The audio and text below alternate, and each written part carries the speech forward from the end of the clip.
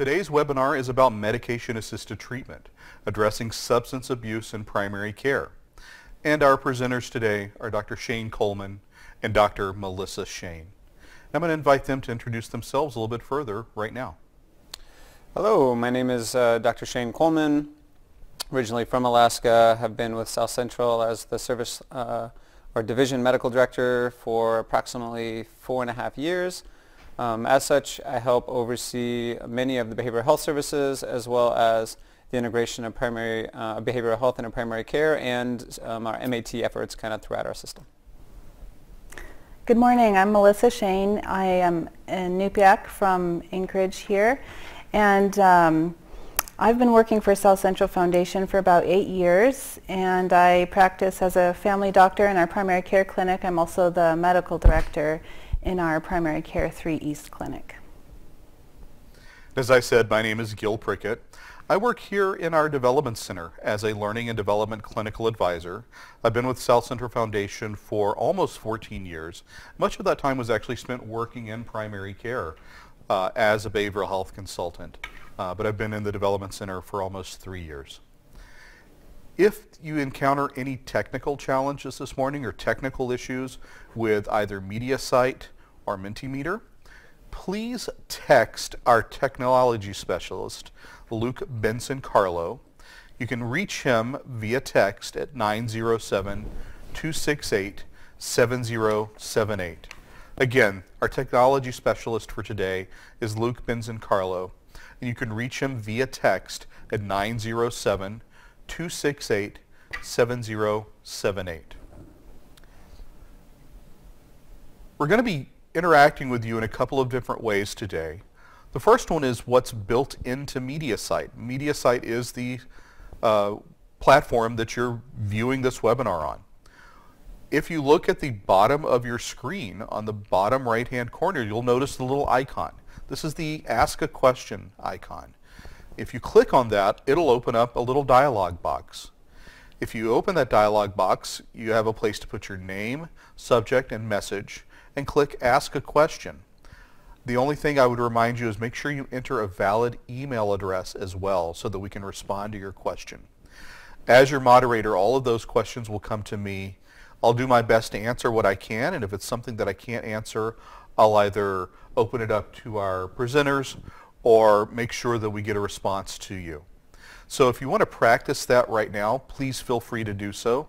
I may not respond to all of those questions right now, uh, but if you want to if you want to do that, just so you know that it's working, please go ahead and do so. Another way that we're going to be interacting with you today is by using something called Mentimeter.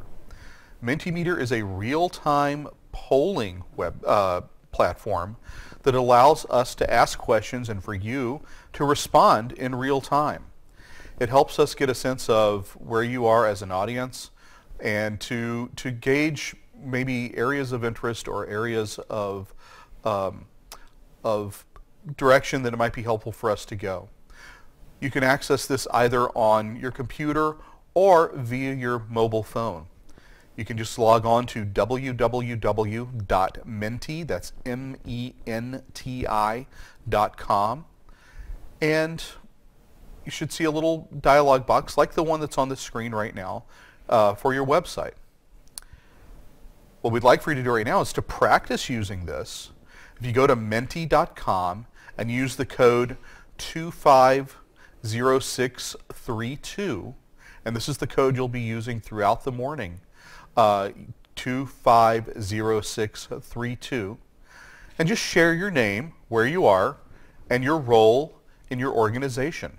We have lots of people registered today, so I don't know that we'll be able to uh, respond to each uh, response we get right now, but we want to see where everybody's from. And so you can get a chance to see where your uh, co-participants are located. So again, go to menti.com, 250632 is the code, share your name, where you are, and your role in your organization. So I'll just share with our, our um, presenters that we have folks from all over the United States and uh, Canada and internationally who are registered for this webinar. um, folks that are uh, clinical, folks that are administrative. So we should see that reflected in the responses we, we get right now. Um, Great. have you guys, uh, as we're just thinking about this, I know that both of you have talked about this topic elsewhere. Uh, do you notice that, that there seems to be interest from more from clinical folks or administrative folks, or is it everybody who's interested in this? I, I mean, I would say everybody. Um, certainly we get interest from kind of all different levels. Depends a little bit on the audience, for instance, or the, the primary group that you're interacting with. But, um, but if I had to choose one, I mean, I, I, guess I would say clinical folks are kind of the most interested, um, you know, both in the clinical details and then also in some of the system pieces that, um, that might be nice to help support their work or help guide their work. Okay, great. We're starting to get some answers uh, here. We've got Marcy from Las Vegas, who's a registered nurse. Tanya, who is here in Anchorage, who works in consulting. Uh, Dr. Sapienza from Seattle, who's an addiction medicine director. Uh, clinic director Christina from Search, which is in Southeast Alaska. Uh, Rachel, who's from uh, Cass Lake, Minnesota. We've got somebody from Hawaii. Sarah is from Hawaii. Sam from Nashville uh, Dr. Kumar from New Jersey. Um, this is great. It's wonderful to see people, so many people participating from across the, the country um, and in different roles being a part of this conversation. We're really hoping that you'll find some benefit from this today and find, um, just get a better sense of how we here at Southcentral Foundation are approaching medication-assisted treatment and addressing the concerns and challenges around opiate dependence. Southcentral Foundation is an Alaska Native healthcare organization. Our vision is a Native community that enjoys physical, mental, emotional, and spiritual wellness. And our mission is working together with the Native community to achieve wellness through health and related services. That includes what we're talking about today, medication-assisted treatment. Our goals as an organization uh, as SCF, as you can see this very cleverly spells out, are shared responsibility, a commitment to quality, and family wellness. I think that when we're talking about medication-assisted treatment, it touches on all three of those things. One of the things you'll hear today, one of the terms you'll hear that might be unfamiliar to you is this term customer ownership or customer owners. Uh, here at Southcentral Foundation, we don't refer to the people to whom we provide services as patients or clients. We refer to them as customer owners. That is, they're customers in that they're receiving a service from us, but they're also owners because as Alaska Native and American Indian people, they own this healthcare system. We operate under their direction. So we talk about our customer owners. Um, I can't remember if, if you mentioned this or not, Dr. Shane, but you are in fact a customer owner as an Alaskan Native person. Um, many of our employees uh, in both clinical and non-clinical roles are also customer owners. So uh, when we talk about customer ownership, it's something that really is near and dear to who we are as an organization. Our operational principles, and I won't read all of these to you at this time, but our operational principles spell out relationships we really place a premium on the importance of relationships here at Southcentral Foundation. So much so that we incorporated it into our operational principles. And as you can see, the very first thing in the um, in our operational principles is relationships between customer owners, families, and providers. They must be fostered and supported. Everything else that is under that uh, supports that relationships uh, that is key to who we are as an organization. We do so by encouraging wellness. Wellness is really our part of our core concepts. Core concepts actually refers to two things within our organization.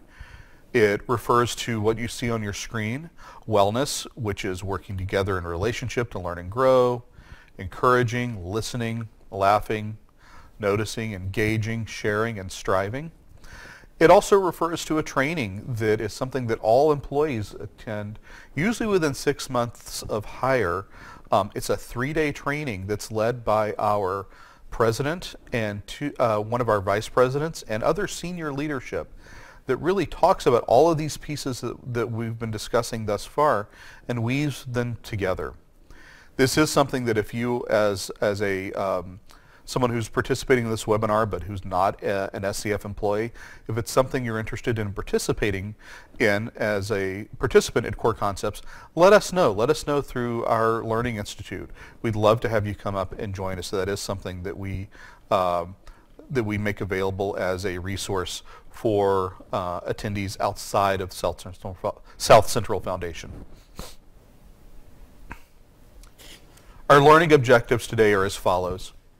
We want to introduce you to Southcentral Foundation's approach to primary care. We want to examine Southcentral's Foundation's approach to meeting the needs of the primary care system and customer owners during this, the opioid epidemic.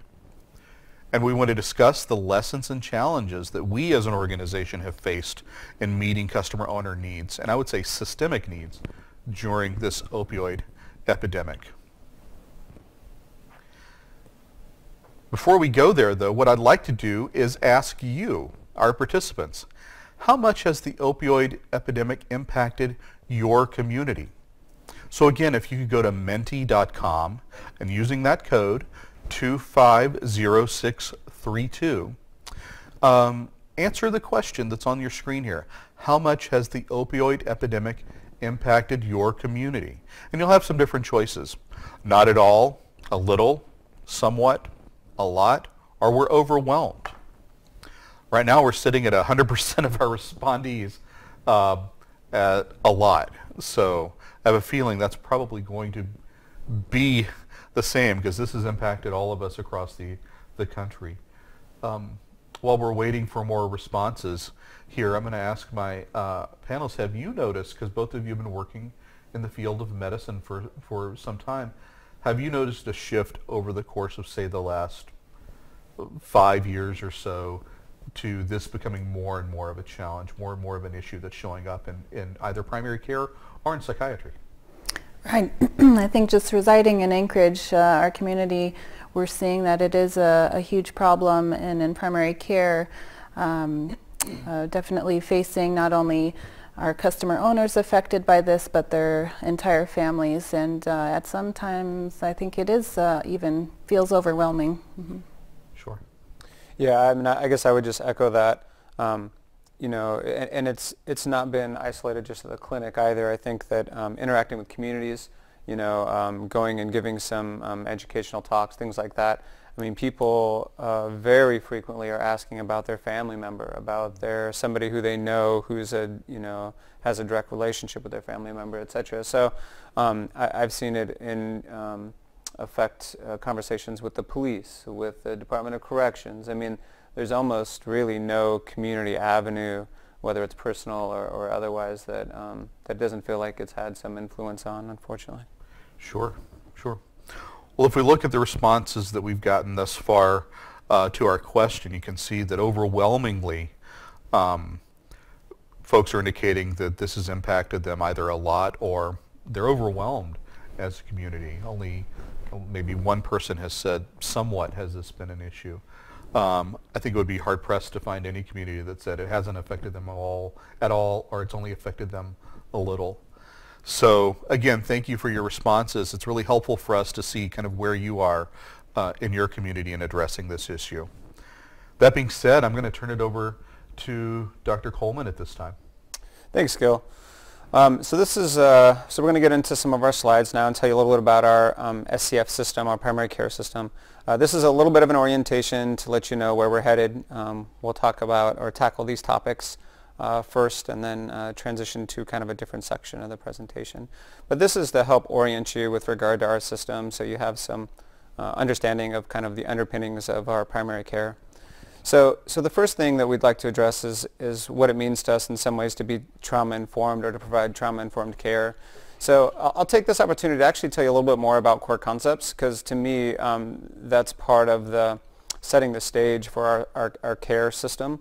Um, so as Gil mentioned, uh, it's kind of an internal uh, training uh, sponsored basically by our CEO and our vice presidents uh, uh, who participate in, in, each one of these. Um, the curriculum for core concepts is really about the very basics of what it means to listen to stories. So what does it mean to listen to story? what does it mean to, um, to share a story? It requires creating a really safe space. And, and what that means, how do you create a space where people can share things that are very difficult for them, um, that might feel shameful, etc. Um, and, and then how do you respond? So not only do you create that space, do you allow them to share, but then how do you respond to them in a meaningful way that helps in their healing and, and helps in their kind of journey to recovery?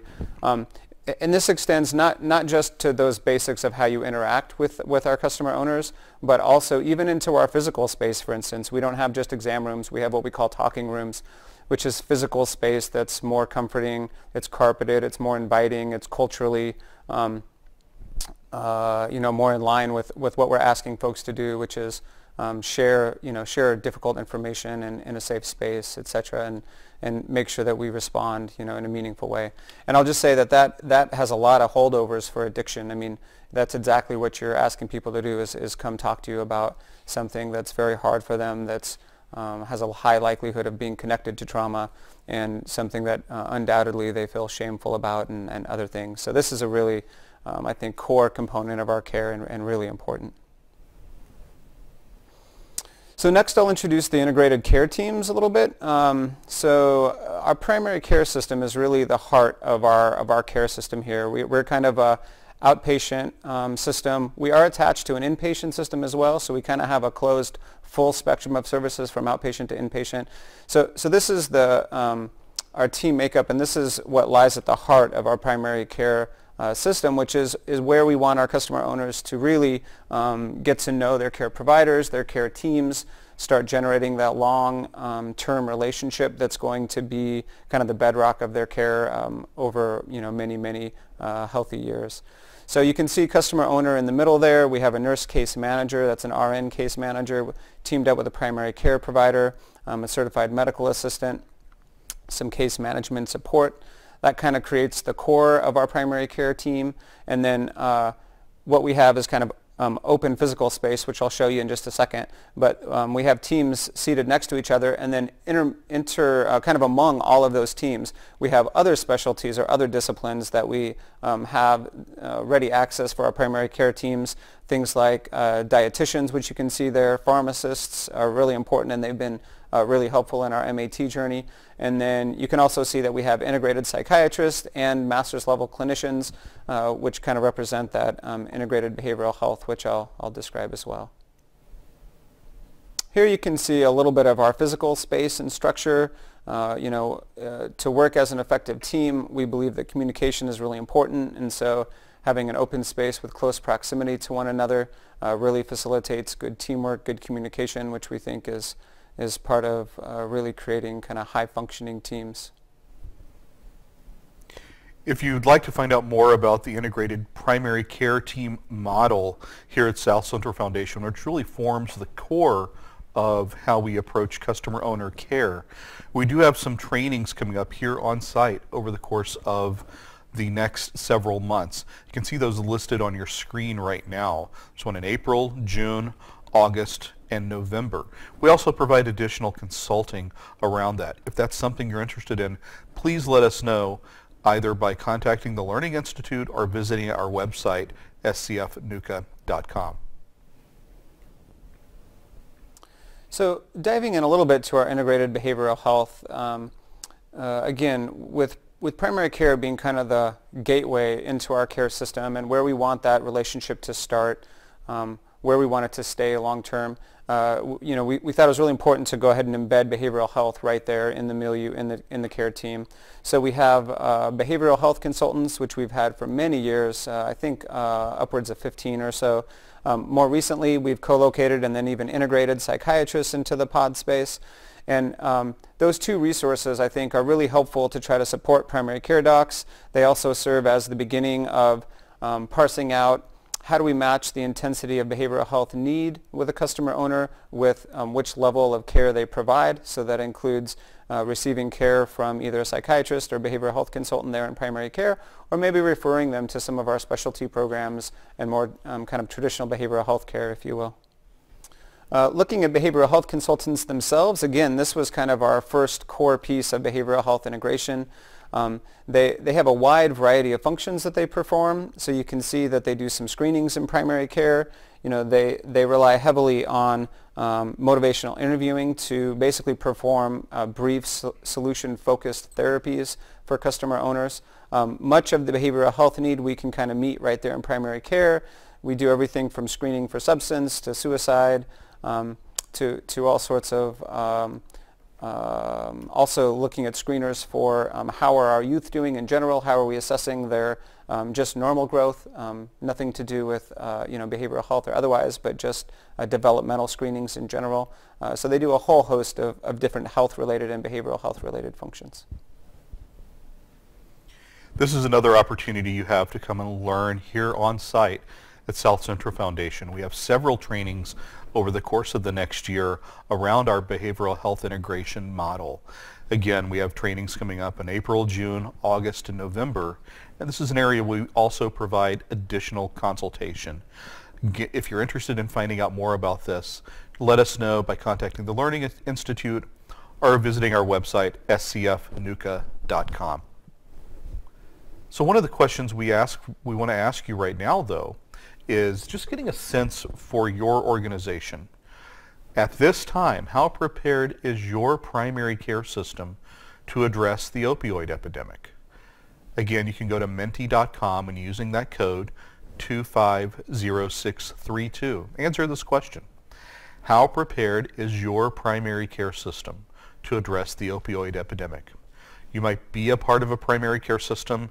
You might work in a community where there is a primary care system.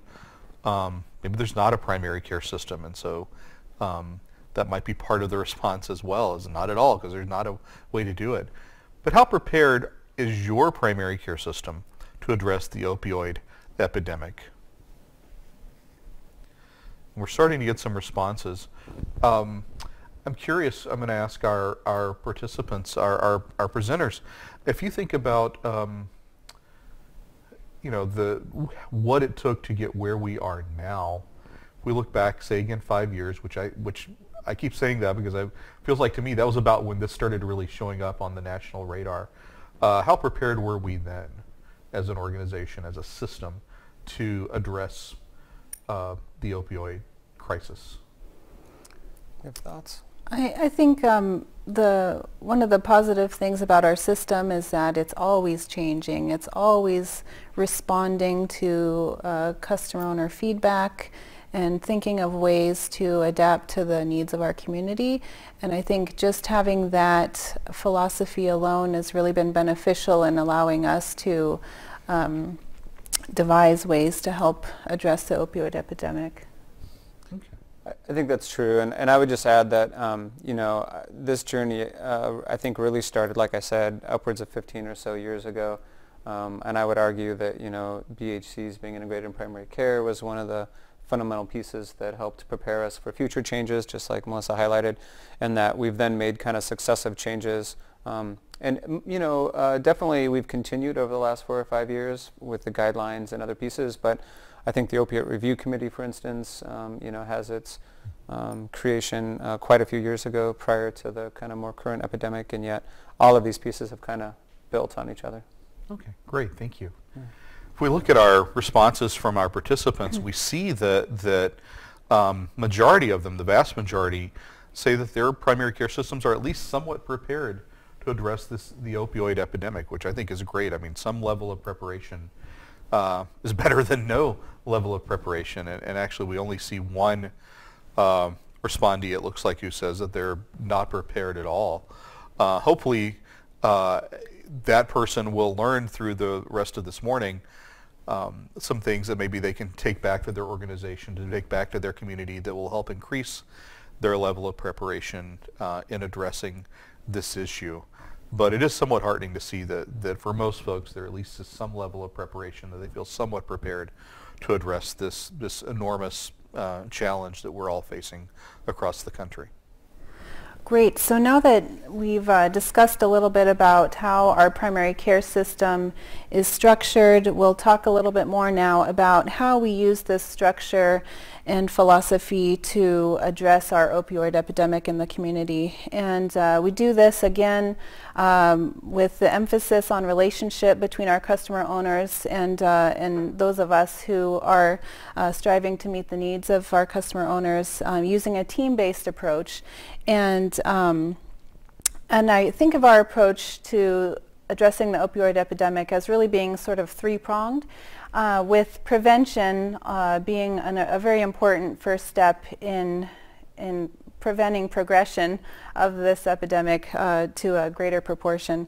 Um, and so we, we really have invested a lot of resources towards uh, effective management of pain, but also alternative uh, pain management modalities. And um, and really a lot of effort has been um, put towards educating both our customer owners and our uh, prescribing providers on safe prescribing practices and I'll talk a little bit more about that uh, shortly. Um, additionally, I think it's really important that we we put a lot of effort towards uh, being able to identify what uh, when a person is experiencing a substance use disorder and uh, that involves a lot of education again of our customer owners and and really a, a lot of a greater awareness across our entire system as to what is a substance use disorder and, and how do we reach out to someone uh, with a need. And um, so a lot of uh, what we do to address the opioid epidemic isn't just uh, providing resources for recovery and medication-assisted treatment in primary care. There's really uh, other aspects too that we'll, we'll talk about some more. Um, just to clarify though, when we refer to medication-assisted treatment during this presentation, we'll be talking about um, the use of medication along with counseling and behavioral therapies to treat substance use disorders and to prevent opioid overdose. So uh, I discussed that uh, really we, we put a lot of emphasis on prevention of opioid misuse and uh, this has required um, really a shift in the way that we as providers are prescribing opioids for, for pain. And um, we've really had to make this a system-wide effort to allow consistent messaging to our customer owners and that um, that opioids are really best used for shorter durations and, uh, and with great caution because of the risk that, um, that goes along with using opioids for pain. And so uh, we've developed a lot of educational materials, posters, brochures, and, and really allowed a lot of education of of not just providers but staff in our teams and our primary care teams to to really help provide that consistent messaging, consistent education to our customer owners. And um, We've, uh, this also involves a lot of effort towards involving our administration of the organization to help uh, help them to understand the standards and the policies involved with uh, prescribing opioids and, and using medication-assisted treatment for um, as we address uh, opioids in our community and really to involve our administration in helping support the culture change in our organization um, so that we can uh, prescribe more responsibly. And uh, this has required really a lot of um, system-wide buy-in to the process and, and the importance of uh, prevention. So when it comes to um, helping to shift this culture change uh, or shift our culture towards um, more responsible prescribing, this uh, we've had to really look at how, how, we are, how are we addressing acute pain in our system and, and what is a, a more responsible way to do this. So um, this has involved a number of discussions across our whole campus, uh, across specialties, um, to really examine more closely how people are uh, addressing acute pain. So for an example, um, in our dental clinic, really having our providers uh, take a look at, you know, if someone is coming in for a routine dental procedure, do they really need a prescription for 60 Percocet to go home? Uh, really uh, being more thoughtful about prescribing smaller, more appropriate quantities, uh, shorter duration of treatment for acute pain, And, um, and then even giving our specialists permission to tell our customer owners, hey, I don't think I'm the best person to manage your pain. I, I really think you should um, have this discussion with your primary care provider. And that alone has been a big relief for a lot of our specialists who kind of felt stuck uh, previously. And um, and even with post-operative pain management, uh, I know I personally am much more thoughtful about when I am seeing a customer owner who is scheduled for surgery, I'm going to have the discussion with them then about how we're going to manage their pain post-operatively. Um, that way there's clear expectations for uh, the types of pain medications that will be uh, prescribed after their procedure, how long they can expect to receive that, and then um, what are the other modalities we can use to help keep them comfortable and just keep them reassured that their pain will be addressed and it might not necessarily be solely with opioids. And this has really helped um, prevent those cases in which our customer owners would call, say, the surgeon every week after surgery saying, I need another refill of pain meds. I still have pain. I need another refill. Uh, sometimes uh, previously I, I, could recall uh, cases in which uh, our customer owners would come back to me two months post-operatively and they're still getting the same post-operative uh, pain medication regimen that they needed the first week after surgery and then that made for a much more difficult discussion that I had to have with the customer owner about uh, uh, expectations and, and um, the risks associated with that. Similarly, um, we've, we've put a lot of effort into how we address chronic pain. And um, a key concept in how we address chronic pain in our system is really um, uh, educating on the idea that chronic pain is multifactorial. It's more than just the physical pain. We recognize that there's often an emotional component, neurological, uh, and even psychosocial components to chronic pain. And it's essential that we really address all of these when, um, if we're going to see success in our chronic pain management. So we do this uh, by using a wellness care plan. So um, a wellness care plan helps to put this um, multifactorial chronic pain idea into practice by um, creating a document in our electronic health record which um, is accessible and viewable by any provider who might be seeing that customer owner. And uh, we do this with uh, all of our folks who are receiving chronic opioids for pain and it really is a, a place where we can document um, the mutual goals that have been set by the customer owner and the provider who is making that wellness care plan. It doesn't have to be the primary care provider uh, creating the wellness care plan with the customer owner. It could even be a dietitian or a nurse case manager. Um, but really the idea is that it's a, it's a document that where we can all refer uh, back to to to identify what the customer owner's health goals are or wellness goals, um, functional goals.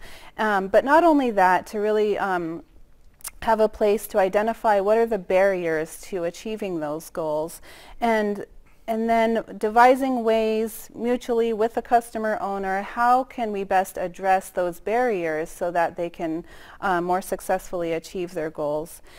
Um, and an example for this that, that, that I use, I found it really helpful in a particular case in which I had a gal with chronic pain who had previously been prescribed opioids uh, long term. And, uh, and I, as she came to me to establish care, I, I wasn't convinced that opioids were really the best way to address her chronic pain. Um, I wasn't going to have a big debate about it. Uh, I, I expressed understanding and um, and uh, and I really wanted to help her achieve her goals and she was hoping that with better pain management she'd be able to attend more uh, days at work and um, be able to get her house chores done more regularly. So so we made a wellness care plan and um, and opioids were part of this, that there would be a set supply, um, a set refill date, but she would also engage in more physical therapy and um, behavioral health therapy.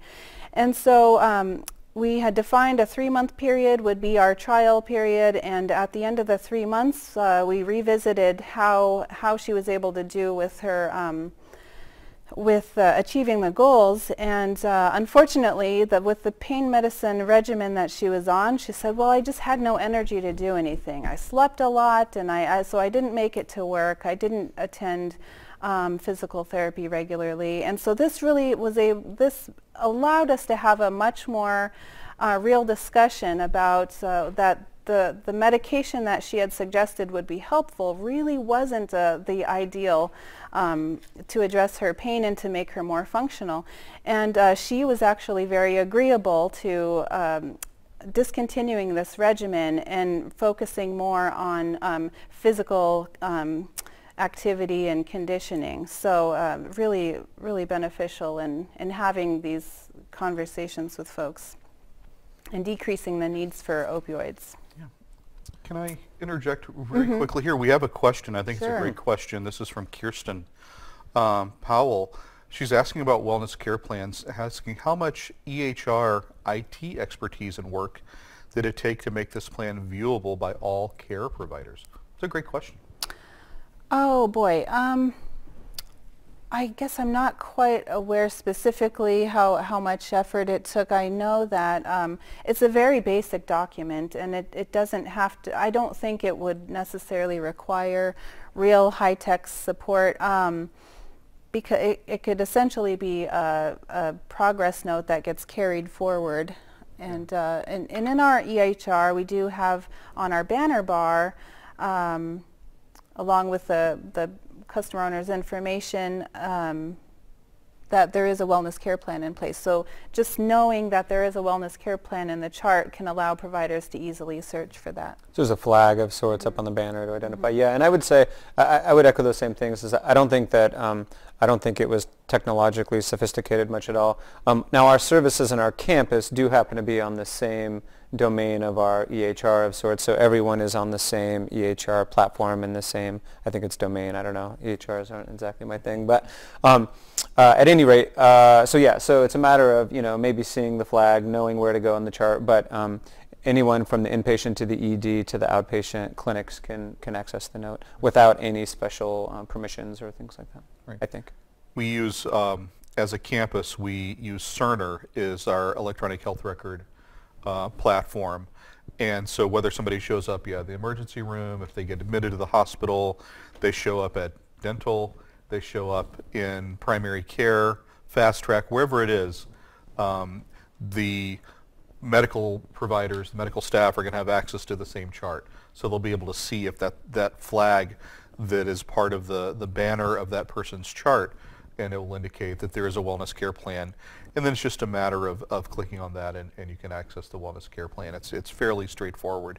Did not take a lot of, of um, special training other than our standard electronic health record training, which yeah. is something that we offer to everybody. And we can do some checking. There's, I know there's some folks who would know the Correct. details of that and we can probably, right. if it's different than what we said, we can fix that.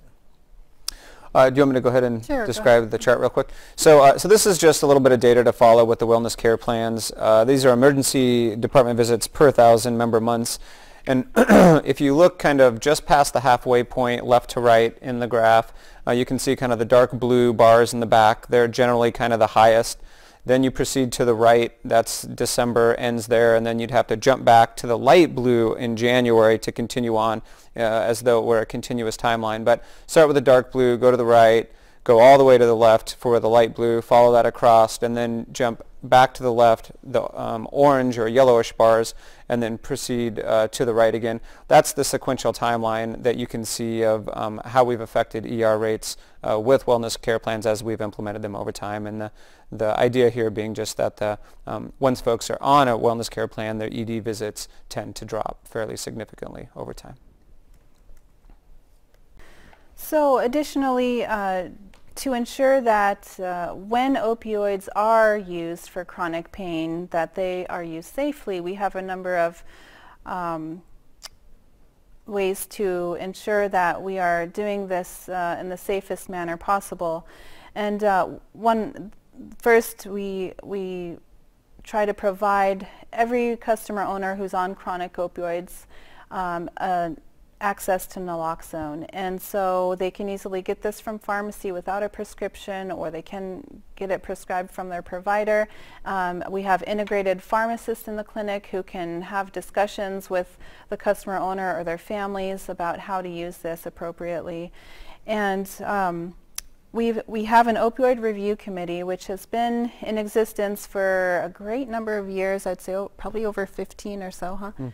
Um, and um, so our opioid review committee is uh, comprised of a number of different types of providers who are available to review cases uh, that primary care providers might have difficulty with um, in while they're prescribing opioids for a customer owner. So uh, they may that customer owner may have some red flag behaviors, and the primary care provider might be alarmed by this. And the opioid review committee can be a little bit uh, objective in the case, review.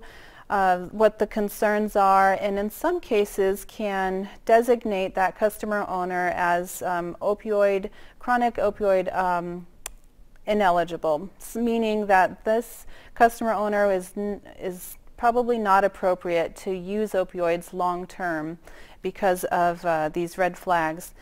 And uh, this can be really helpful in our system as uh, our customer owners have the opportunity to switch providers as they, um, as they need to and uh, allows some consistency uh, among providers in our organization so that if there is someone who's opioid ineligible that it really uh, triggers them to think more uh, cautiously about prescribing opioids chronically for that customer owner. Um, and similarly, it, it, it sort of takes the, the burden of the primary care provider away from being, being the bad guy to say, no, I am not prescribing you this anymore. It can just be more of a discussion of, hey, I had these concerns, the committee reviewed it, and uh, as an organization, we feel that chronic opioids are not safe. Um, and so it, it really helps to maintain that relationship between our customer owner and primary care providers. And um, additionally, more recently, we've developed our um, Southcentral Foundation specific opioid prescribing guidelines. And these are very much in line with our CDC guidelines that were also recently released, but have really given us um, a lot of support for our prescribers on on what are safe dosages for opioids, um, especially when used chronically. Uh, what, are, what are the best practices for monitoring? What are the expectations of our um, uh, teams in, in, in monitoring and prescribing chronic opioids for our customer owners? So I think this is uh, just a quick graph of opioids, uh, the quantity dispensed uh, per month, and I think really it illustrates um, our guidelines went into effect uh, ahead of the CDC and some of the other, I think, kind of national guidelines. So in 2014-ish is when we were working and getting those in place, I think, and you can kind of see uh, a pretty a pretty good decline of, of average quantity dispensed of opioids uh, over time. So as I mentioned when discussing our wellness care plan, we really strive to provide a multidisciplinary approach to chronic pain.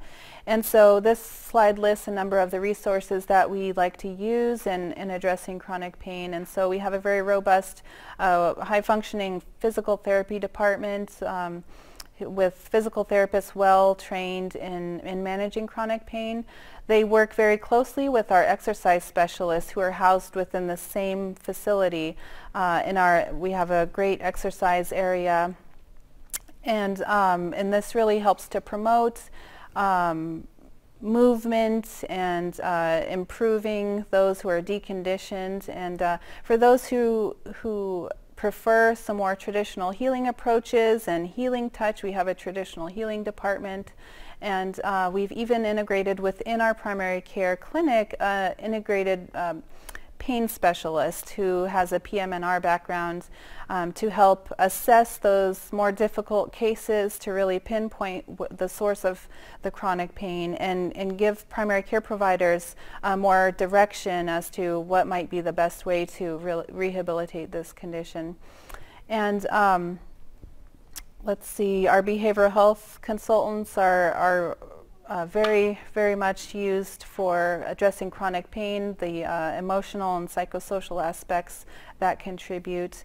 And often uh, that's built into our wellness care plan that uh, it might list the medications prescribed, the types of therapies used, and how frequently the customer owner might be seeing behavioral health.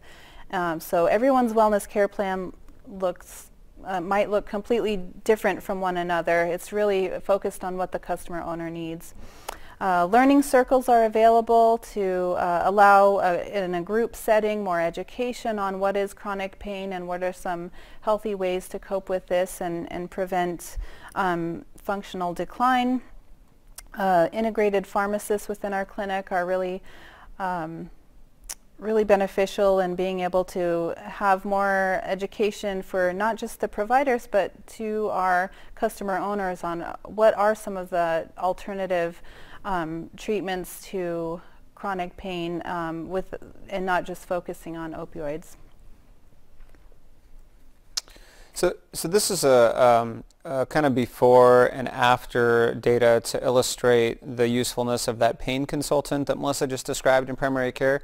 So that pain consultant um, largely does consults to the primary care docs uh, and not so much um, accepting and then longitudinally taking care of folks over time. And it's, it's the impact that we're measuring here of her consulting with the primary care team, uh, sometimes doing co-visits with the primary care doc to help um, them understand or, or um, educate or build skills, etc.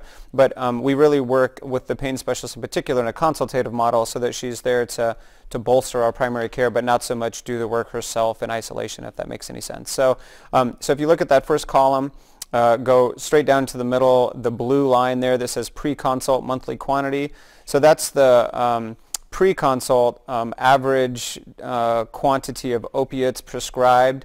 And then if you look right under it, after the consult, you have a post-consult monthly quantity prescribed, which drops down to uh, 14.19. And then the very bottom on the in the white says change in quantity. So between, on average, between uh, what the customer was getting with regard to opiates before the consult versus after the consult, you have, uh, you know, quite a large reduction there, minus 26 um, um, you know, dispensing of, of opioids on average per, per, uh, to those folks or customer owners. So same data, except now uh, on the right-hand side, we're looking at ED rates. But um, if you see the pre-consult ED rate, it's 0.35 per month. Um, if you look at the post, it's 0.26 for a change rate of about 0.1 um, in those who have received a consult over time, which again, uh, we feel like is positively impacting our system utilization. So you can see um, I've highlighted some of the ways that we've um, we've promoted to help safely prescribe opioids. And another important component in addressing our opioid epidemic is increasing our ability to identify substance use disorders. And so I've listed a number of these um, ways on this slide including our um, Southcentral Foundation opioid prescribing guidelines. Um, and these are helpful. The, the guidelines are actually used a lot by our opioid review committee uh, who can review cases of um, customer owners in our system who might be receiving large quantities of opioids. And, uh, and when, when this, these cases are reviewed, the opioid review committee can give feedback to the teams who care for these customer owners and say, well, this is how much the, your prescribing practice is deviating from the guidelines. Here's some suggestions for how to more safely manage these customer owners. And uh, it's, it's never punitive and it's, it's, um, it's never done in a way to uh, to criticize how teams are managing, but just provide some helpful support. And for myself, it's been helpful in, in opening discussion with customer owners that I've felt it's been difficult to really um, make any changes in a, in a and what I feel would be a safer direction um, in that I can say, you know, this case, your case has been reviewed by our opioid review committee and we have these guidelines in our organization and it looks like the way that our, we're doing your medication regimen is deviating from what are, what are some of the safe standards that we have. And the committee has recommended this, this, and this and I really think that in order to provide you the best care and be the safest, uh, prescribe the safest way possible uh, because safety is my primary concern for you. I think that we should modify your treatment more towards what the standards are. And uh, this has actually been a really, uh, really beneficial in um, and, allowing customer owners to realize that it's not just Dr. Shane being mean and trying to take away their opioids. It's really a matter of safety and that the whole organization is really um, on the same page with this. Um, and when it comes to uh, wellness care plans uh, as well, that um, having a wellness care plan in place and seeing where customer owners fall in being able to achieve their goals or not, that also can help open up the discussion for, well, geez, maybe, maybe this medication is starting to do you harm. Maybe some of the behaviors you're having, um, which are kind of hindering you meeting your goals, uh, might be related to a substance use disorder. And um, uh, of course, our prescription drug monitoring program available now in our state has been helpful. I uh, had a customer owner, as an example, who I have known very well for a number of years. Uh, so I thought um, I was prescribing her a small quantity of um, controlled substance for an acute issue, and I happened to check our prescription drug monitoring program, expecting nothing surprising would be there, when in fact uh, found out that this person was being prescribed a number of controlled substances all over town. And um, and I was able to uh, actually approach my customer owner in a very um, caring, concerned manner, saying, you know, I see that you're being prescribed a number of these um, potentially harmful medications, and, and this worries me. You know, what can I do to help support you? And uh, a, a, much greater story unfolded, and um, but she was very ashamed to have told me anything about this uh, before because she didn't want to let me down. So just having this resource available allowed me to approach her very very gently and offer the support that she really needed. Um, similarly, educational materials um, have been beneficial in that I had a couple cases of uh, customer owners who saw the poster in my exam room which had a story on it about someone who had chronic pain and were using opioids to treat their pain and um, and uh, had kind of told how that medication started doing them harm and, and leading to addictive behaviors. And these customer owners identified with that story. So even before I entered the exam room, they had that put a lot of thought into it. And by the time I did come in to meet with them for their visit, they said, you know what, that, that story, that's me, and I need help with getting off my medications. Um, and so, so really, uh, offering a lot of these um, different ways to help support our uh, our providers and our customer owners and having these conversations really helps to destigmatize um, substance use disorders and increase the conversations that we're having um, to offer assistance to those who are affected adversely from opioids. And uh, similarly, it's essential, I think, in our system that uh, because we do have a number of different specialties and departments on our campus that we have easy communication um, between our departments. I've had uh, ER providers who were able to easily get a message to me that they were seeing one of my customer owners who I did not know had a substance use disorder, but they were treating them for an uh, issue, an acute issue related to that. Um, so that allowed me the information I needed to have a gentle, uh, caring, concerned conversation with my customer owner without putting the burden on the customer owner to come to me um, and, uh, and necessarily divulge this information that they're ashamed of often. So we have another question which mm-hmm. I think uh, fits very nicely with that about the open communication between departments. The question is around, we're talking about all of this information and kind of the uh, consent to share or informed consent mm. Around this topic. Um, so one of the things that, that I think about with that is because we are kind of we talk about the hospital and we talk about inpatient and outpatient, but we're kind of an integrated system, completely integrated system. So whether you're showing up in primary care here on campus or you're going to the emergency room, there's only one medical chart that everybody has access to. Mm-hmm. So in some ways that, that uh, people understand, I think everybody who receives services here understands that. Mm-hmm. Uh, but I'm wondering if that's been a, something that you've encountered as a challenge. Well, I can speak a little bit to this specifically, especially from the behavioral health point of view, and we'll touch on this more a little bit later in the presentation, but um, 42 CFR Part 2 is something that um, behavioral health is fairly used to dealing with. Um, primary care, usually not so much, and I found that the, the MAT discussion is oftentimes the first time they're hearing about this. Uh, it definitely has implications in the EHR. It has implications in, in where you're performing services. Um, but basically that 42 CFR Part 2 is um, federal code of regulation that governs um, special protections for substance treatment. And so, um, so that's been kind of the biggest piece I think that's come up with regard to um, release of informations on the campus. We had to make sure that we had different versions that were adherent or um, compliant of sorts with that, with those regulations, and then uh, make sure that an effort up front was given, like in our intensive outpatient program. We make sure to use um, a release of information that allows primary care um, access to some of their information, including the, the, integrated psychiatrist, for instance, so that we can chat with the um, intensive outpatient program clinicians and chemical dependency counselors.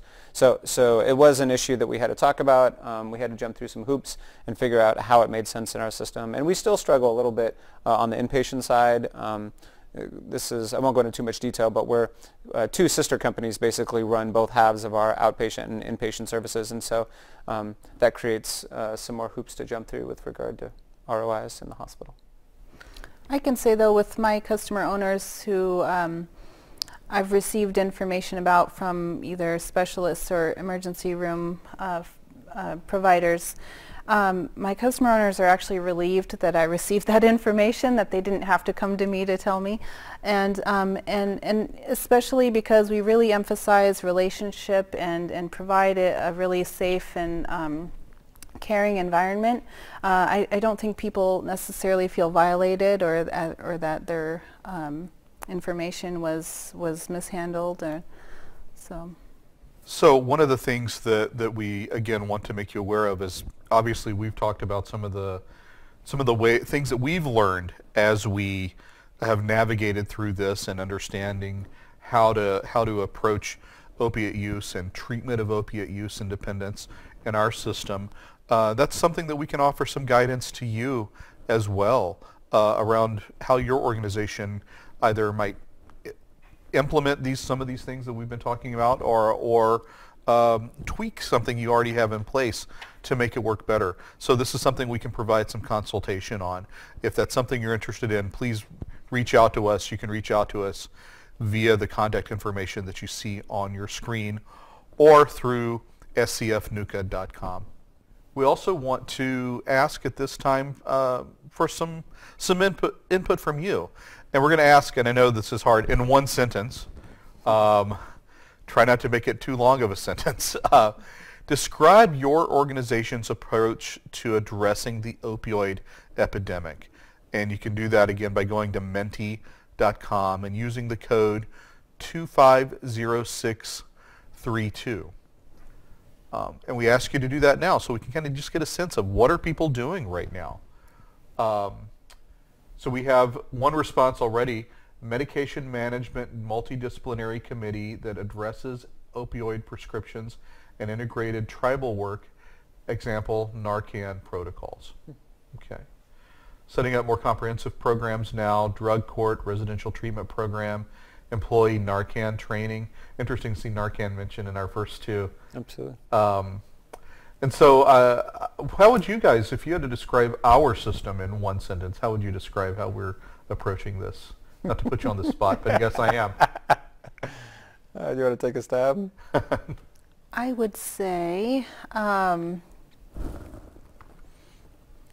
kind of what I what what I've been trying to highlight is the um, Im- really with the customer owner at the center and, and really using our resources to best support them. Um, but it, we do it in a very individualistic manner. It's, it really looks different um, for, for each customer owner. So I think our system does a great job at, at, at adapting and understanding and, um, and supporting and, um, and offering a, no, a variety of different types of uh, support. Okay, okay. So I'm going to try to, the, the, the, the therapist to me can't help it. I'm going to try to reframe that. Um, so the um, system that is, that is very customer owner focused and uses all of the tools at our disposal to provide care that meets that particular individual's needs. Mm-hmm. Okay. We see some other responses that we're getting. Um, one uh, location has started medication-assisted treatment in their fed- federally qualified health center as part of an integrated primary care approach. Trying to fix what we broke years ago and not breaking things further. Sometimes you have to, yeah, you have to, you have to um, make sure that the, yeah, you're not making things worse while you're trying to make things better. Pain Management Review Committee sounds not unlike some of what we do uh, who, who approve all chronic use recommendations, also providing medication-assisted treatment. Okay. Great. So it sounds like a lot of folks are really looking at, at providing medication-assisted treatment and really approaching it in terms of, of committee and inter, interdisciplinary approaches, uh, not unlike what we do.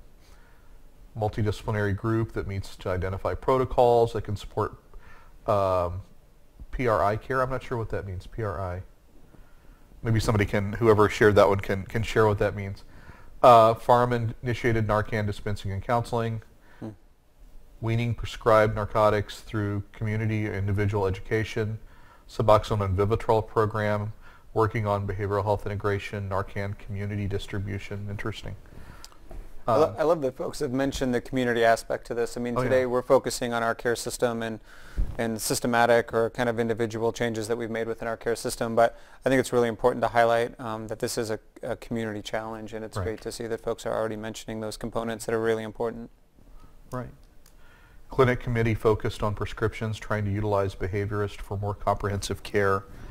Um, and again, not only because I was I worked as a behavioral health consultant in our system for for many years, I think that that addressing the behavioral health component of addiction and dependence and substance use disorder in a primary care setting um, is an amazing uh, resource that um, can really help benefit not only your customer owners or patients or clients or, or whatever you call them, but your employees and your medical staff as well. And somebody said, learning from our past experiences, knowing that we could do much better given the resources we have. So yeah, sometimes it's a matter of reevaluating and saying, what can we use? How can we use what we already have in place to, to improve the care that we're delivering? So thank you all very much. Those are some great responses. Great. So, uh, so I'll now kind of uh, will transition into a little bit um, more of the specifics about how we do substance treatment here at Southcentral and and how we do medication-assisted treatment. So, so this slide is really to introduce you or kind of frame the context in, in which it occurs, uh, in the context in which we've tried to create a spectrum of services. Um, so in primary care, you've already been introduced to the integrated behavioral health components, the integrated pharmacists, the nurse case managers. Um, the, those are all the, the components that have been helpful to try to get MAT up and running in primary care. And um, on the other side, we also we kind of merge that with the behavioral health resources that we have. So we have um, we have a residential, we have an uh, intensive outpatient program, we have the hospital, which we've mentioned. Um, we also have kind of more traditional behavioral health clinics. Um, uh, in a more behavioral health milieu, um, things like that. And, and really our goal was to, to bring these services together. To give you an idea of the lens that we started through, uh, we we had basically a, a, kind of a single prescriber standalone um, MAT clinic within the behavioral health division of sorts, uh, which was our first, um, uh, I guess, dabbling kind of of sorts with MAT, and it was from there that we then tried to kind of generalize um, throughout the our, our entire care system some capacity to do MAT and to to include that into our integrated services. So that's kind of the the lens or background where we started and um, kind of part of our story. so from that, our goal was to, again, create this spectrum of services with the idea being, can we meet uh, customer owners where they're at? Can we match their uh, intensity of need for treatment uh, with the clinical service that we would provide. Um, doing the best given the limitations in community resources and, and internal resources. The truth is, uh, you know, much like other communities, I think that we are resource poor. Um, certainly uh, the city on, you know, doesn't have the uh, capability to meet all the treatment need that exists, not in residential care, not in IOP level of care, not in partial hospitalization or even um, even outpatient. So, so we do, um, you know, we have had to make do with the resources that we do that we do have, et cetera. So, so thinking about um, how it is that you get into our system, if you start with primary care, uh, we have kind of that uh, spectrum of severity of, of substance use disorders, like we've mentioned. Um, you can see the primary care uh, provider, the customer owner, behavioral health uh, consultant th- those are generally the first folks that you'll run into if you're coming into our primary care system with a substance use disorder. And, and once we started the MAT program, what we found was, again, you get, a, you get a full spectrum of intensity. So you have those that are IV users, that have been IV users for a long time, that are largely without psychosocial supports, no job, etc. Um, uh, and so those are kind of the most severe. Um, you know, one of the things we didn't really think about up front, but that we um, discovered fairly quickly, I think, is that we have a, a, small number, but still fair amount of folks who uh, started MAT out in the community. So they started their recovery and treatment out in the community resources and then uh, decided to migrate into our system. So if you, uh, so if you go back real quick and you look at one side of this being primary care on the right side, and then on the left side, four directions is our intensive outpatient. So this is how we see our uh, intensity of, of, of care, if you will. That is um, the most intense being our residential or our IOP there. Um, then the idea would be that you would migrate to an integrated behavioral health, um, like an integrated psychiatrist and the BHC team um, in primary care. And then eventually, once you were really stable and, and further along in your recovery, uh, our goal is to get you back to the primary care provider who can then continue your MAT refill scripts, uh, leaving the rest of our system uh, open to take more severe cases, new cases, etc. So, so again, um, those severe folks would come into primary care. They might see the BHC who would refer them to that intensive outpatient or residential program or community resource, again, um, whatever the, the person needed. Um, that, that would be the idea there. Uh, the community referrals that were coming into our system, those folks, uh, because they're already on their journey to recovery, um, certainly we'd assess them, but for instance, they might come to the integrated psychiatrist to make sure that we can assess them adequately, to make sure that we do appreciate kind of what level of stability they've achieved in their life and in their recovery, um, with the idea of, uh, you know, that they'd be less acute and easier to get to primary care eventually, so that's why they would start with the integrated um, behavioral health team of sorts in primary care. And then finally, you have kind of the mild uh, opioid use disorders or folks who maybe previously were severe, but again, they're a year, year and a half into recovery, something like that. They've reestablished relationships, resources, etc. And so those folks um, are, are game to consider going directly maybe to a primary care doc. Um, Melissa, I know you've had a couple of folks that you know, have fit somewhere on this spectrum. I think that you've had kind of long-standing relationships with. Mm-hmm. Um, I don't know if you have any thoughts about, you know, what it's like to, to have somebody that you uh, maybe have, you know, good relationship with and how you can kind of either keep them in primary care or at least have some support to, you know, to refer them elsewhere if you need. Right, yeah, so I, I've had a couple cases in which I felt that the customer owner would really benefit from um, staying within primary care, at least in the beginning of starting MAT, and uh, and and so I've even done some inductions with our um, MAT nurse and pharmacist uh, in primary care uh, and then seen that customer owner for uh, their follow-up. And in some cases, they can stay with me indefinitely for continued MAT, but uh, there are some cases where I do that short term with the idea that uh, eventually they'll be more formally admitted to the uh, more intensive program. Yeah, I'm glad you said that. That's a perfect example too, where you know you have some pathways, but the the truth is, in, in practical application, uh, you know, sometimes our primary care docs are brave enough to go ahead and bridge somebody while we're waiting to get them into our intensive outpatient, et cetera. We kind of, again, the, the, real struggle is to meet customer owners where they're at. But, um, but I think the idea of having the system that, that you know is supportive or will be supportive shortly, hopefully, when space opens up, et cetera, um, you know, allows us to do some things we otherwise probably wouldn't be able to do. So to give you an idea, that's the lens through which uh, folks might come into our system. The pre-induction engagement, these are kind of some expectations we have of folks. Um, you know, they, they probably need to uh, attend an assessment with either a chemical dependency counselor um, or the BHC or both actually. Um, completing an ASAM is, is part of our system. Uh, making sure that they establish relationship with the primary care provider. So some folks are, um, have established relationships, but some folks have been without care for some time and are only hitting the emergency room or et cetera. So we, we do ask that they go um, start that relationship that we think is so fundamental to our care system here. And, and we do that by asking them to, to go meet their primary care provider. Um, it also gives our primary care provider a heads up that they have a, a, customer owner that's entering our system and that with any luck, you know, a year, six months, a year down the road, something like that, that they may be coming back to primary care, hopefully uh, in recovery and, and kind of stabilized. Um, we obtain screening labs. Uh, we also have them uh, sign a controlled substance agreement. We're, we're going to dive a little bit into the details of the controlled substance agreement just because this is a really important piece and a, and a piece where that um, the culture of primary care and behavioral health are sometimes kind of at different extremes, and so this is some of the um, can sometimes be an area of um, questions for primary care uh, teams, or um, you know uh, they might run into um, substance folks can be really challenging in some ways um, with boundaries and, and different things like that. So this is an area that uh, sometimes it's hard to know exactly what to do with some of these um, agreement pieces. But um, some, of the, some of the substance agreement include things like um, clearly defining upfront expectations about how the medication will be used, about what constitutes misuse, um, you know, introducing the, the, role and idea of urine tox screens and pill counts, uh, how those occur, when they occur, the importance of them, um, the fact that they're required in many situations prior to medication fills or refills, etc.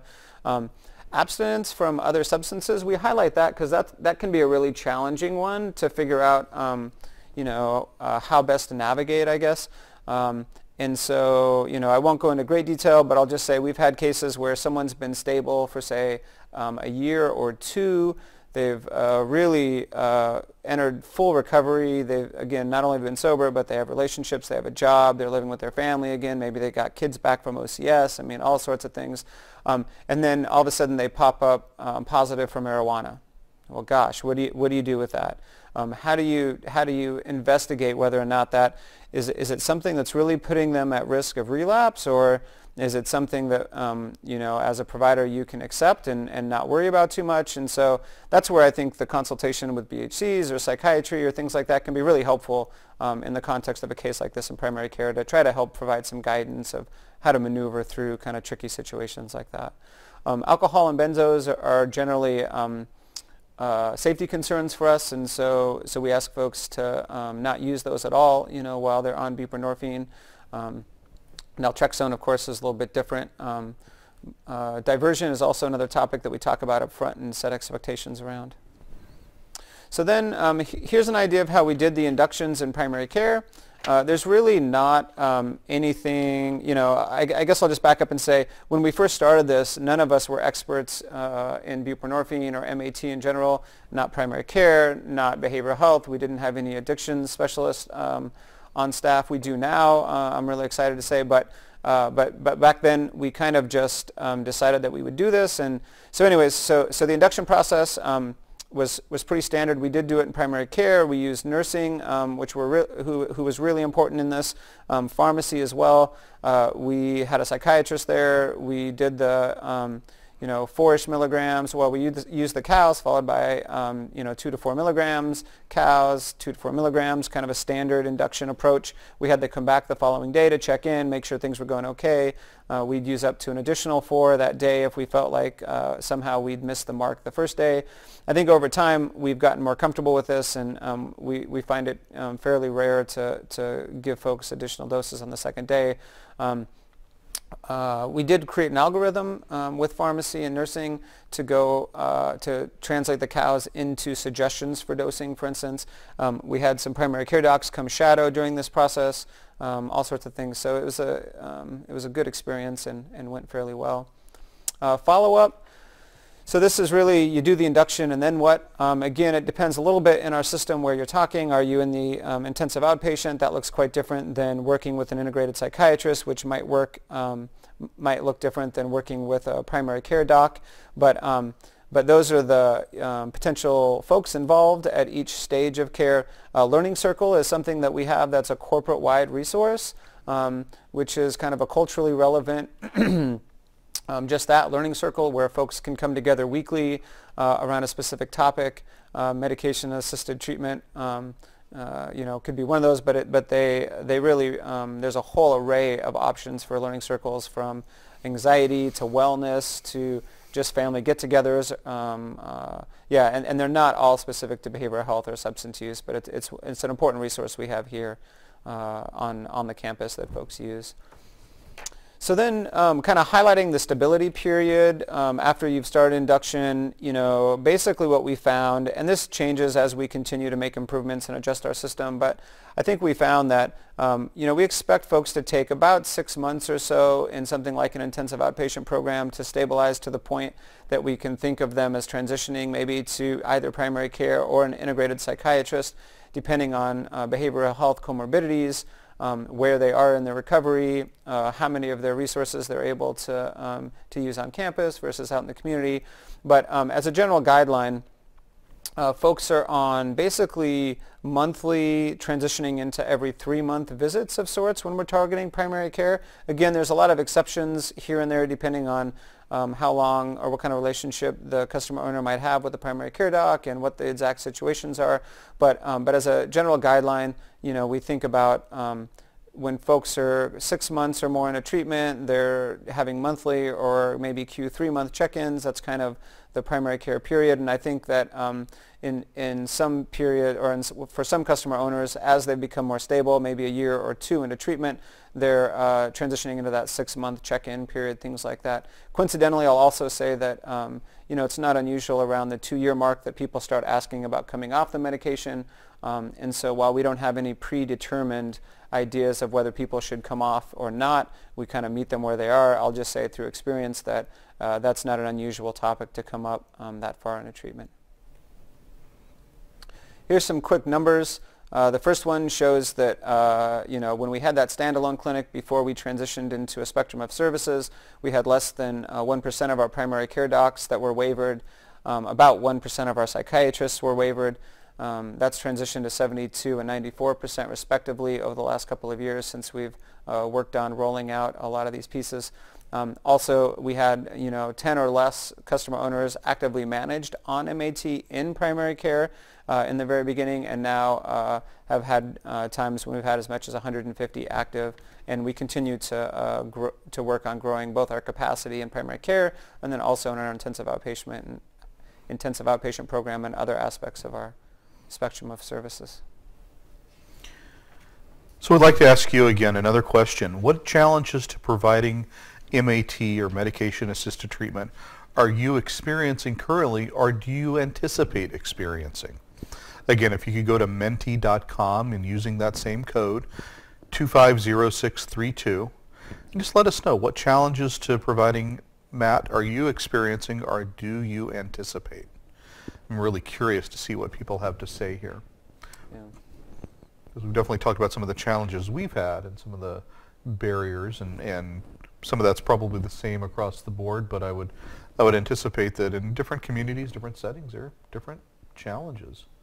Yeah, absolutely. I, you know, I, I think uh, frequently in these conversations or conversations with, with, other organizations, I think of uh, in some ways how lucky we were to be so far along the integration pathway Mm-hmm. already, um, and and that we um, were able to overcome you know a fair amount of the challenges with regard to integration already, and then you know this analogous kind of situation of thinking about substance use disorders. Um, I feel like we were pretty fortunate and uh, and well poised, but um, I can imagine starting with both might be a real challenge if you were going to try to consider some version of doing both at the same time. Right. I think you bring up an interesting point because, uh, yeah, I think that because of the ways in which we already had kind of laid some of the foundation through the behavioral health integration uh, approach, that had kind of greased the wheels in some ways for people to be open to this kind of multidisciplinary, Yeah. kind of uh, cross-divisional approach to addressing this concern. Mm-hmm. Um, so we're starting to get some answers here now to some of the challenges. Uh, one of the challenges is hiring enough Suboxone providers.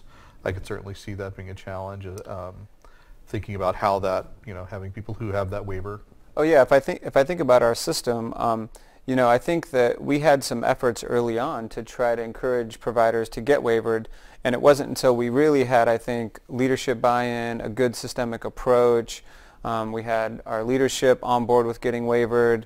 Um, that it that it really we kind of finally got that momentum where um, once we got some folks waivered and some things active in primary care and other other places in the system and other providers were able to see that oh yeah okay that's that seems doable and okay yeah I know so and so is doing this and a repeated kind of hey this is a real need of our of our customer owners um, I think we finally saw uh, you know providers um, willingness to get waivered kind of take off on both sides both behavioral and primary care. One of the other responses up here, which I think is interesting, is capacity limited to physicians only. Our state does not allow NP or PA prescribers. And that was certainly, I know earlier on, that was a challenge that we faced. Yeah, I'm, I'm a little bit surprised to hear that, uh, mostly because of the CARA legislation that was passed that went ahead and gave them the right. But um, I wasn't aware that, that there's some states that maybe have opted not to follow that federal guidance. But yeah, that's interesting. That could that could be a really limiting, especially in systems where there might be at least uh, some, if not if not um, many of your providers uh, being uh, nurse practitioners or physician assistants. Uh, this is an interesting one. Buy-in from providers and leaders due to the suspicion it would lead to more work. Well, and I can speak to this. I think uh, myself, when when this all uh, was on the horizon, um, this was my fear that it would, you know, as a provider who had been providing um, or treating chronic pain and dealing with uh, some of the issues that come up with that and um, dissatisfaction on both sides and using opioids and, and some of the chaos that can create, I feared that providing MAT would, would be along the same lines. Um, and I was very pleasantly surprised that in fact it, it became one of the more rewarding aspects of my practice because uh, I could see the dramatic difference that it made in a person's life from going uh, from opioid addiction um, to being stabilized with MAT and being able to care for their families and be employed and contribute to our community. And um, so it created uh, uh, a lot of satisfaction, uh, mutual satisfaction, and, uh, and really not the work that I anticipated. And, and if I can just highlight, because again, this is, uh, speaks to that analogy with, I think, integration as well, because there are similar fears when you talk about integration usually, like, oh my goodness, what if all the behavioral health people come? What if this creates more work for me as a primary care provider? I don't, you know, I don't really uh, want to be dealing or, or have time to be dealing with the behavioral health issues, et cetera. But, but I think both in that and substance use, it's almost the exact opposite. Actually, what you find is, is when you integrate behavioral services or integrate MAT, um, it kind of has a stabilizing effect because those things are in your primary care system and they're presenting there no matter what. I mean, whether you go down this road or not, they're going to be there. And it's when all those psychosocial or addiction or behavioral health issues are not addressed that you get that chaos and that kind of craziness that just, um, you know, in a primary care Q15 minute system will just drive you nuts if you're not careful. So, um, so interesting. I think that's really great to hear because I, 'cause I think that's absolutely true. Is it has almost the opposite effect that you'd expect. some great uh, questions, some great answers to this question about some of the challenges. Integration of substance abuse therapy, that's certainly something that we've struggled with. I'll, again, albeit made somewhat easier by the fact that we do have integrated behavioral health mm-hmm. pro, uh, consultants in primary care, so that helps speak, speak to that. Training for staff and leadership, absolutely. Clients switching to private physicians with looser rules who will prescribe concurrent benzos, higher doses, and not require routine counseling. Mm-hmm. Certainly, I, uh, I think we see that in our community as well, and folks who have the um, financial wherewithal to, to seek care outside of our system sometimes do indeed choose to do that. Absolutely. We've had so, some struggles with community yeah. providers that we yeah. would say yeah. um, haven't had the safest or healthiest prescribing habits. Right, right. We did have a question that kind of uh, tags onto this, and these are, thank you again for your responses. I think these are great responses and really speak to some of the things that we've certainly experienced and, and continue to be challenges for us, and, and some pretty uniform responses there. Um, we had a question from Aaron Schneider uh, regarding urine drug screens, and I think this was in response to what we were talking about earlier. Uh, when we check urine drug screens, do we screen for buprenorphine? We find buprenorphine in patients who are running out of opioid medication. Mm-hmm. Oh, so. absolutely. So, so yeah, I mean, I, I, think that's one of one of the struggles of using buprenorphine is that it does have street value, um, and the street value or the the value in buprenorphine comes from just that. Um, it, it basically helps people bridge those times when they're out of opiates or mm-hmm. you know they have them today but they know they need to make it a week before they can get more etc those kind of things um, yeah absolutely um, we, we definitely uh, find that people use it to bridge and that it shows up on urine tox screens or conversely uh, doesn't show up on urine tox screens when it should be because they're in the MAT program so goes both ways I try to look on the bright side though um, I have had one or two of my Suboxone folks who um, initially had gotten it off the street just because they needed that bridge and then realized, wow, I don't crave anymore. I, I, I feel like I can function normally. This mm-hmm. is kind of nice. Maybe I can, uh, maybe, you know, it, it, gives them hope that there is a chance for recovery. So, yeah. Sure. Yeah, I, w- I would just highlight that's not unusual either. Um, prior to inductions, finding out that folks are using it off the street but wanting to get into a real treatment program. So, so uh, we'll finish up here. We're running short on time, so I think I'll just introduce some of these slides, um, kind of maybe uh, make high points here and there. So merging behavioral health and medical services, uh, we, we've already uh, kind of hit on this, but they're two very different cultures, so bringing them together in integration or MAT or substance treatment can be challenging. It really helps to have kind of uh, leaders on both sides who are really dedicated to the endeavor, and, um, and we could talk a lot more about that. In fact, we could give a whole presentation probably on just those merging of cultures mm-hmm. um, for sure. Um, teaching primary care docs how to use uh, behavioral health, that's kind of the initial stages of integration. Um, again, uh, just part of the process, I think. Um, promoting substance dependence as a chronic disease, you know, I'll, I'll put a quick plug here. Um, rather than seeing it as a mental weakness or moral moral weakness. I do think that this is really important. Um, I'll give a couple of analogies. I, I, think that you know some of the old school thinking folks were maybe quick to uh, remove something like buprenorphine from somebody if they were seen as relapsing or um, or not abiding um, the rules right away or, or, or, things of that nature. And so, and th- not that there aren't times, I think there are times when safety is at risk where you still have to consider that as a potential means, but really opening our understanding of addiction I think is important in seeing it as a chronic disease. And I like to give a couple of analogies.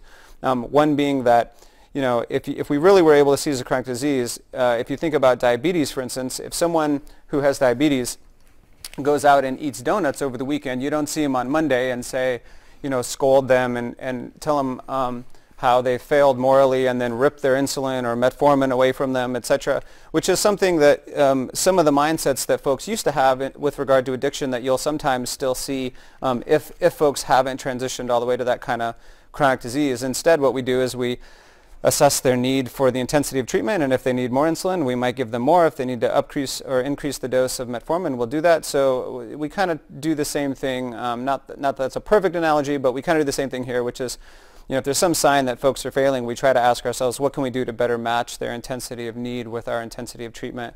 And then um, the other thing I'll say is like with smoking, I think folks have done a pretty good job of coming to the point where they accept that, I don't know, it's an on average seven, I think, attempts, eight attempts for people that successfully quit. So Um, so I would just say, you know, relapse is not a failure. I mean, it, it might be a failure in that moment, but um, the point being that it's, it should almost kind of be a, expected in a chronic disease that you're going to have these ebbs and flows and, and periods of more or less success, et cetera. And so anyway, so I think um, helping with that um, perpetuate or, or educate folks around that model can be helpful.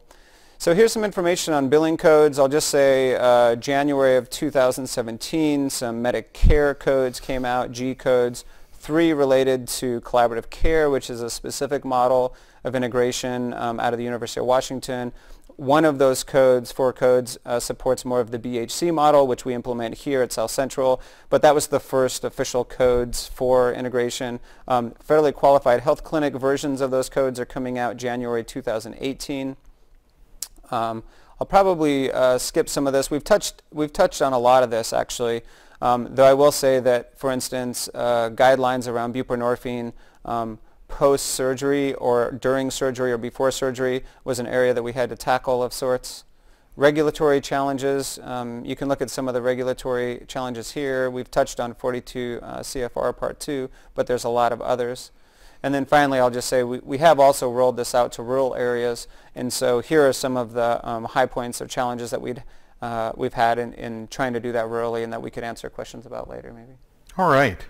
So I'm going to ask you one more time. We, you know, earlier we asked how prepared would you say your primary care system is to address the opioid epidemic, and we said we had about 59%, 60% of, of respondents said that they felt that their system was was at least somewhat prepared to address this. I'm going to ask the same question after hearing everything that you've heard today. Um, does that answer say the same or does it change? Do you feel more or less prepared than maybe you did at the beginning of this uh, training to address the opioid epidemic in your community? And go to menti.com and using that same code 250632. If you could answer that question. I'm really curious to see if that changes substantially. It may not. It may stay the same. Uh, but there may be some things that you've learned today that might lend, its, lend themselves to uh, tweaking this uh, or recognizing what you already have in place and thinking about different ways of utilizing those resources. So one person if, uh, still agrees that they're somewhat prepared. so um, ahead of the curve, great. Where would you guys rate us? I mean, I think we've kind of talked about this before. Mm. Somewhat prepared, very prepared ahead of the curve? Yeah, I mean, I don't, I, you know, as a system, I don't know. I feel like we're doing pretty well. Um, again, on kind of all the different pieces that we've talked about. Uh, we have kind of an ingrained culture of um, plan, do, study, act, and rapid cycle improvement. So again, I feel like this has been kind of a multi-year journey, and I, I feel like we're in a pretty good, um, pretty good place. But certainly, uh, you know, what we um, there, there's always challenges. There's always work to be done. But I don't know. I mean, from a primary care doc perspective, you're probably um, the authority on kind of how the system feels with regard to, uh, from a treater's perspective. Um, I, I, can say that I'm, I'm pretty sure that our customer owner satisfaction results have stayed uh, pretty much the same and are quite high in the 90-somethingth percentile throughout the process. So I don't think we've impacted um, customer satisfaction, for instance, much. But I'm, you know, you could probably speak to the provider perspective. Yeah, I think uh, as a system, I'd say we're we're ahead of the curve, and um, uh, I think there's always room for improvement, though. So I'd I'm excited to to see more uh, rural outreach and mm-hmm. and MAT to our rural sites, um, but. You know, again, our system is ahead of the curve, but we're also a part of a larger community that I think is still struggling, um, and so, um, so I know that there's there's there's more work to do. Hmm. Yeah, I would, I, and I would echo that. I mean, I think there's a lot of community work to be done. This is, if you really look at true prevention and the, the root causes of, sure. of things like opioid use and um, prescribing is one piece, but there's, you know, there's always the community effects and yeah, challenges. Sure, sure. So very comparable numbers that we're seeing to this post uh, training question ar- around uh, how prepared a primary care system is to address the opioid epidemic, maybe swinging a little bit more to very prepared, a little bit. Somebody, uh, I think, switched their answer to that, so that's that's encouraging to see. Um, I think that, that you know you both brought up something really interesting, which is yeah the context in which this work takes place. Um, we can have the best, most well-designed approach to addressing opioid dependence using medication-assisted treatment. Um, but if all of those other factors, the social factors, um, the uh, regulatory factors, the um, billing and its financial factors related to it uh, aren't also addressed concurrently, um, it, it's um, it's still not really addressing the root cause, and, and those are those are larger challenges that we're not going to solve today in a webinar. Um, but it's certainly things that I think we all need to be mindful of and continue to uh, help address and, and, uh, and assist in, in addressing in, to the degree that we're able within our systems, within our communities. So again, we thank you for your response to this question. So we've several times today we've we've shared with you opportunities and ways in which we can support you. We do so in a variety of ways, including consultation around a variety of issues, uh, including but not limited to uh, our approach to medication-assisted treatment in addressing the opioid epidemic. Uh, we've talked about trainings related to our integrated primary care teams, behavioral health integrations. We have our coaching model, which is an integral part of the way that we uh, support staff here at SCF. Uh, we also have um, classes specifically in motivational interviewing, which we mentioned uh, earlier, the way that we, we actually support, uh, we use that in, as one of the tools to address um, uh, the opioid dependence issue. Um, if there's any of that that you're interested in or interested in finding out about any more of the ways in which we can support you around those issues, whether it's training or consultation, please reach out to us. You can reach us at scfnuka.com. Um, SCF events at scf.cc is our email address, or you can call 907-729-6852.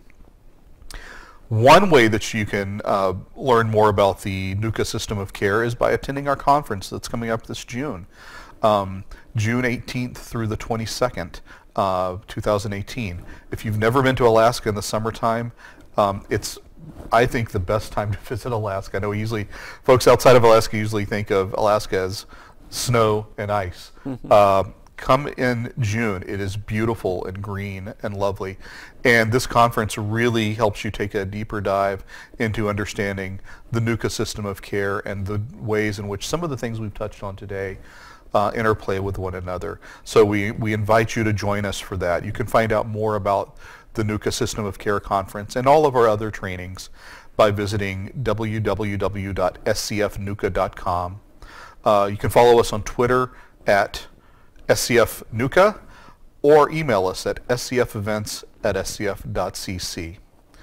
On behalf of our presenters, on behalf of Dr. Shane and Dr. Coleman, myself and the rest of the Learning Institute and Development Center staff here at Southcentral Foundation, we thank you for joining us today.